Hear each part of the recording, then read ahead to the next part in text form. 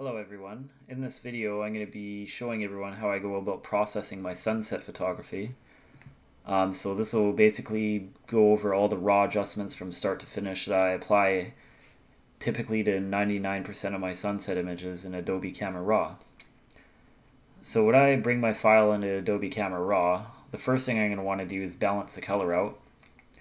So usually what I do to balance the color is I'll come over here to the camera calibration slider and what I'm going to do first is just start adding a little bit of saturation to the reds, a little bit to the greens.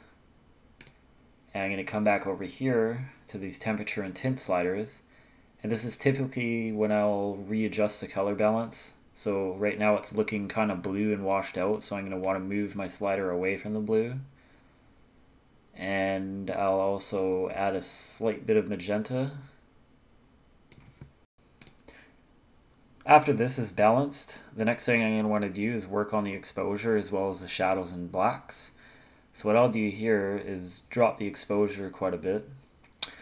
Uh, usually when I'm out shooting, uh, I shoot with a Nikon D810, so the dynamic range on this camera is pretty good. Um, I'll usually underexpose my sunset images by half a stop to full stop, just so I don't clip the highlights. Uh, like right now, the highlights are pretty good and the shadows are pretty good as well. Um, each scene's going to be different, of course, but um, yeah, I usually shoot neutral or just a half a stop underexposed just to save the highlights. Uh, once you blow highlights, of course, you'll never get them back, so it's always better to be able to just pull the darker portions of the image out rather than trying to save blown highlights. Um, anyways, so what I'll do here is I'll work the exposure, so I'm going to drop it quite a bit just to get more detail in the sky here. Um, from here, I'm going to hit the highlights down quite a bit. A um, little bit of contrast.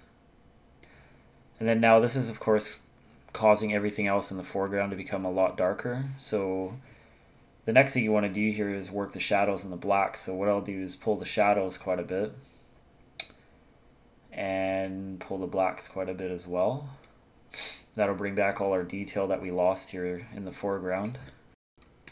This is just a really simple, basic way of editing your sunset photography, but it's really powerful, especially when it comes to separating color and uh, bringing back the tonality and such. So uh, anyone can do this. Uh, it's best to just go out and shoot, take your own photos, and of course experiment.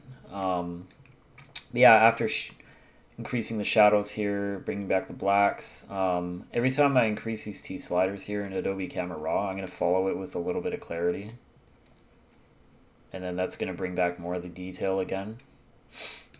Um, over in lens correction, I always have remove chromatic aberration checked. Uh, profile correction, it all depends. Sometimes I like it a little bit warped, but this is just because I shoot with an ultra wide angle lens. So I usually leave this unchecked. Um, of course, I could come back over here and start balancing these colors a little bit more, or saturating the reds and the greens, oranges. Uh, right now it's still a little bit blue, so I'm going to warm it up a little bit more. And a tiny bit more magenta. and